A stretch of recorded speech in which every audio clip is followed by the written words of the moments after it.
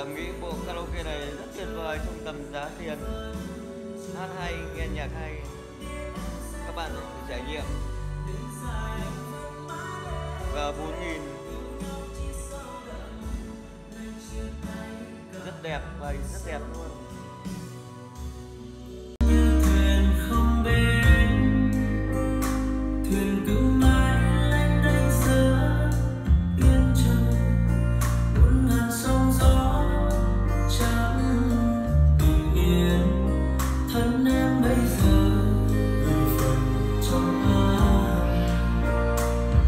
to mine,